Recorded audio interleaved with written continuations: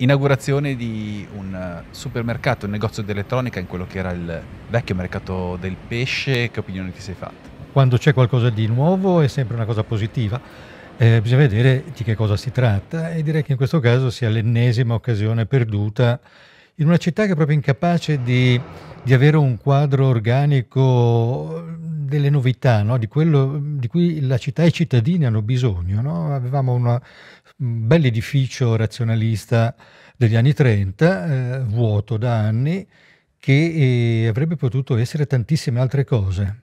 E erano state fatte ipotesi, proposte di vario genere, no? un grande centro per l'arte contemporanea, eh, un luogo della memoria, un luogo a disposizione di chi volesse avviare nuove attività per, per eh, sperimentare, per, per, proporre novità. Addirittura si era parlato anche di una possibile sede della moschea eh, di Genova. Di cose se ne sarebbero potute fare tantissime, come tantissime cose si sarebbero potute fare in, in altri luoghi che invece eh, sono stati affrontati in maniera proprio così mm, staccata, episodica eh, e questo non soltanto adesso, eh, quindi non eh, gettiamo le colpe soltanto sull'attuale amministrazione di destra. Pensiamo ad esempio all'operazione della Fiumara della Fiumara, che era questo straordinario complesso di archeologia industriale, in questo antico capannone di estremo fascino, che come si è fatto in altre parti d'Italia, in altre parti d'Europa, si sarebbe benissimo potuto recuperare mantenendo l'autenticità, naturalmente convertito a nuovi usi, ma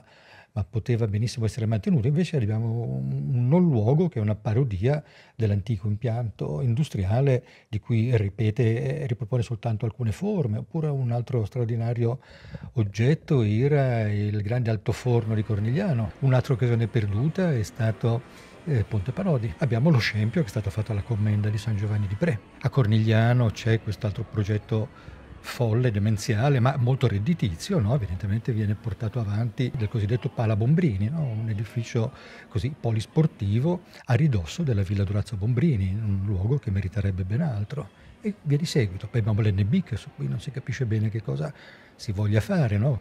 Tornando un attimo invece all'ex mercato del pesce, il responsabile dei rapporti con i soci di questa grande catena di supermercati ha detto che in effetti invece si restituisce un servizio importante per la cittadinanza da un lato e soprattutto si riqualifica una struttura che era chiusa da decenni. Cosa risponde invece alle critiche di chi eh, dice insomma, che queste inaugurazioni di diciamo, spazi commerciali all'interno di questi ambiti urbani rappresentano in questo caso come in altri un impoverimento del tessuto sociale del territorio? Ma io invece eh, eh, ritengo tutt'altro che rappresentino un'opportunità per la città, per i residenti qui del centro storico, per i numerosi turisti del centro del, del porto antico che gravitano in zona e avranno un'opportunità in più di acquistare dei beni di, di alimentari, di bere un caffè, di, di acquistare qualcosa di elettronica che prima non avevano.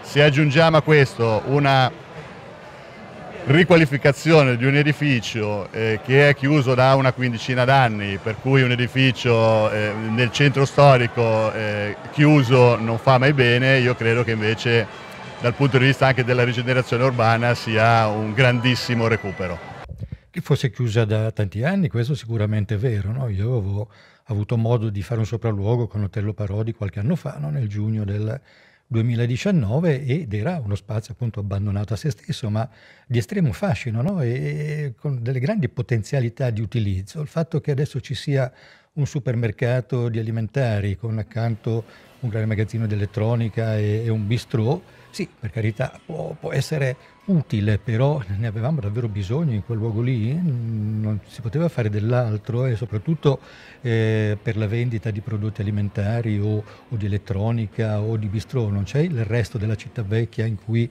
eh, invitare i, i, turisti e gli stessi genovesi ad andare a godere di, di queste meraviglie, di questi spazi straordinari che, che abbiamo dappertutto. Un altro esempio invece mh, positivo no, di quello che eh, l'ente pubblico, il comune avrebbe voluto fare, ma che poi grazie all'ostinazione, grazie all'impegno di un altro ente pubblico, cioè il Ministero per i beni culturali, la soprintendenza archeologica, eh, è stato invece risolto in positivo, è l'area archeologica di San Donato eh, gestita nell'ambito dei giardini Luzzati, che eh, avrebbe dovuto essere un parcheggio il comune di Genova a tutti i costi avrebbe voluto fare un parcheggio nonostante i resti emersi, ma grazie alla soprintendenza abbiamo adesso questo straordinario punto di, di attrazione, di, di, memoria della città, di archeologia con i resti del modesto anfiteatro che Genova aveva nel primo secolo d.C.